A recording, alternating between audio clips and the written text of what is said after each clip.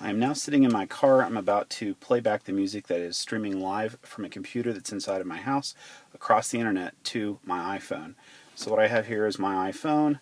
Uh, I found a little app called Streamer after much uh, trial and er error looking for something that will just stream a simple uh, HTTP internet radio station. Click on Streamer.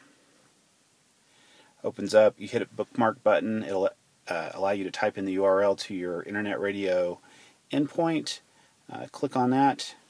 We'll start to stream through your phone. Of course, I'm in my car, so that means it'll also be streaming over Bluetooth to my car uh, stereo speakers, which is kind of what I was after.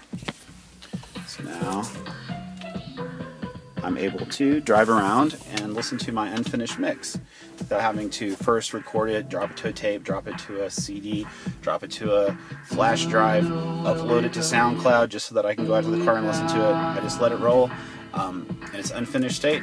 Uh, and thanks to Jack Audio, just pipe it straight into uh, into uh, VLC and listen to it in my car. That's it.